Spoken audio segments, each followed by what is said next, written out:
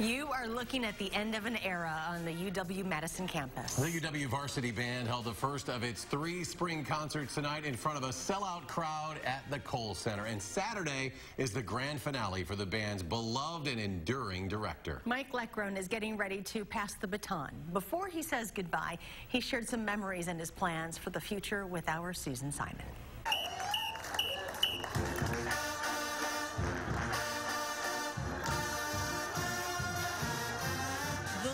Of the band brings to life the heart and soul of a university. There will never be another quite like Mike.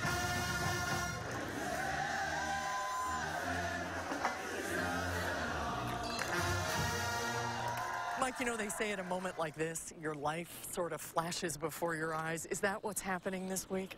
Every day. Every, every day, day? Every day somebody comes up and says either, thanks for what you've done with the band, thanks for the years.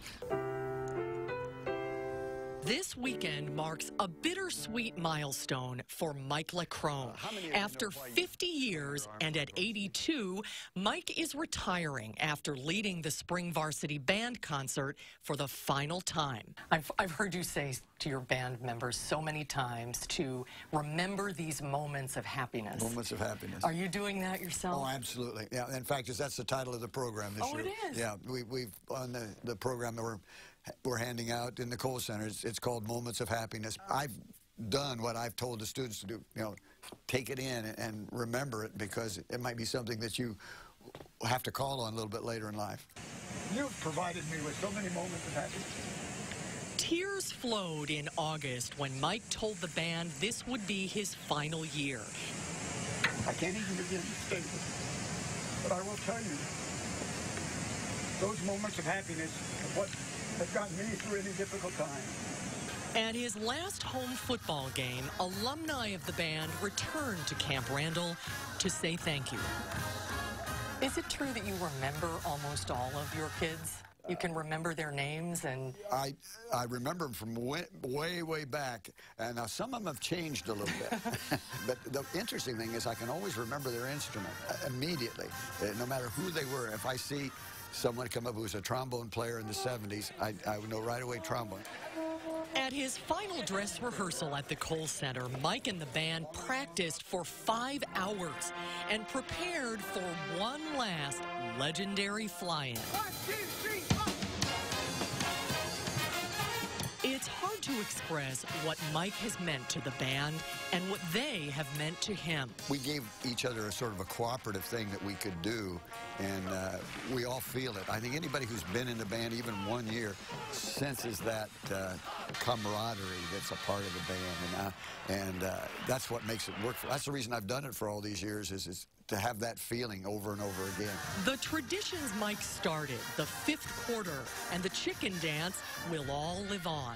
But as the school year comes to an end, Mike can't quite bring himself to start packing. How long have you been in this office? Since 1969. And when, uh, the year you came? Yep. You've and, had the same office yep, the whole time? Yeah, and it was... Uh, We've decorated a little bit. We Mike's campus office is a museum of five decades of Badger memories, but one stands out above all the rest. The Rose Bowl. That, That's that, the first one? Yeah, and that was that was special, such a special event for me. It still remains as the highlight of, of what I did. It was an amazing time. That 1993-94 season was was was just so unbelievable. Everything worked the response when the band just made an appearance around a corner or came down the street, people could catch a glimpse of the, uh, the, the, way the people responded to it. it. It was just a moment anybody who was there would never forget it. Well, people may not remember that it started in Japan the road to the Rose Bowl that year. Did the band go to Japan? We, uh, we, took 70 people, and that's that's another thing. I mean, here this was for most bands that would be a major a major touring thing, but but now when you talk about it, oh yeah, we were in Japan too. How many Rose Bowls have you been to? Six. And is there ever anything like the first one? No, not like the first one. Mike has had his share of tough times, too. He lost his wife of 62 years, Phyllis, two years ago, and had double bypass heart surgery after that.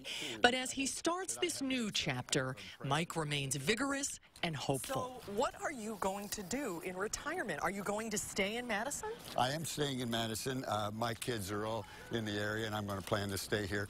I probably will try to get out of the cold weather occasionally, which I didn't have the opportunity to do before. But before he says goodbye, there will be one more iconic moment as Mike Leckrone takes his final bow. That final varsity.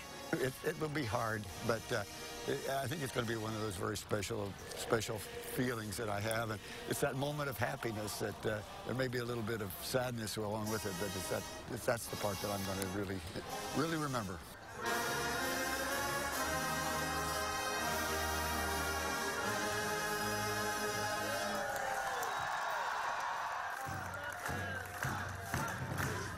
And get chills, don't He's you? one of a kind, isn't he? Mm, well, tickets for the remaining concerts, unfortunately, they're sold out, but you can still see Mike's farewell. Yeah, Wisconsin Public Television will live stream the concert Saturday night at 7 p.m.